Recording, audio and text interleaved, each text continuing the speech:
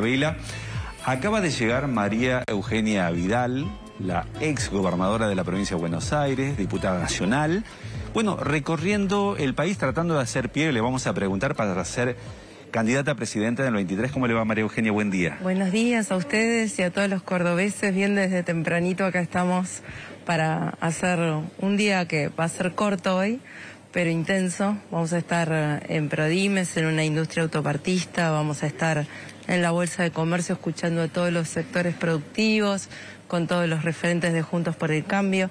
Así que día de, mucho trabajo, pero con la promesa de venir este, más tiempo para poder recorrer mejor toda la provincia. Claro, la idea que en principio era recorrer el país tres, cuatro días, a Córdoba hoy Solo por el día, pero porque viene por la invitación de la Bolsa de ah. Comercio.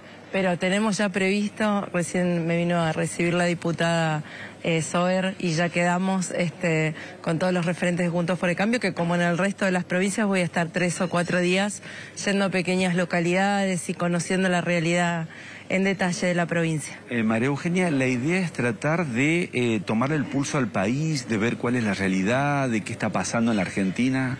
Tanto cuando me tocó ser vicejefa de gobierno de la ciudad como cuando fui gobernadora, siempre entendí que para resolver los problemas de la gente hay que estar y hay que escuchar.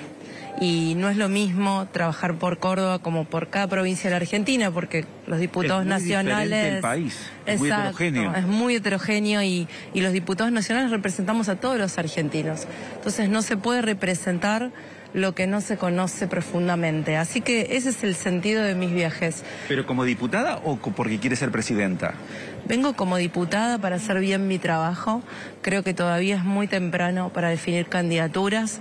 Eh, y además de temprano es anecdótico porque un solo presidente ya demostró todos estos años de democracia, vamos a cumplir casi 40 años que no cambia la Argentina, porque los problemas de los argentinos y de los cordobeses son bien urgentes y no pueden esperar. La inflación, la falta de trabajo, la falta de oportunidades para nuestros hijos eh, y sobre todo porque se necesita un para qué más que un quién, ¿no? Claro. Eh, hablando de, digamos, de cómo conformar el país que se viene, de sumar algunas fuerzas, bueno, usted ya se ha expresado, pero me gustaría preguntarle aquí para la audiencia de Arriba Córdoba, ¿qué piensa de una posible incorporación de mi ley a su fuerza?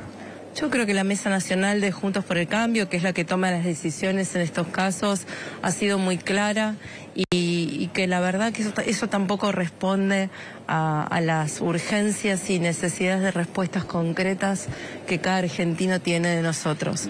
Eh, esta semana espero podamos dictaminar sobre el proyecto de alquileres que pone en, en vilo a tantos argentinos, ¿no? Que cada, cada mes tienen que cerrar su contrato de alquiler con un 54% aumento, los que renuevan ahora en abril.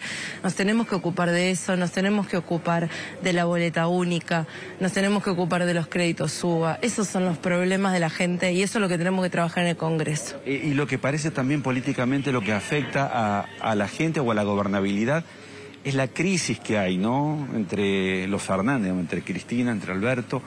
Eh, ¿Ustedes eh, ¿qué, prefieren? ¿Ayudar a Alberto o ayudar a.?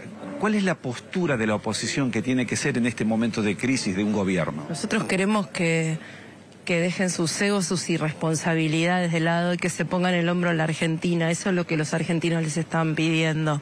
Que dejen sus, sus peleitas y sus mezquindades.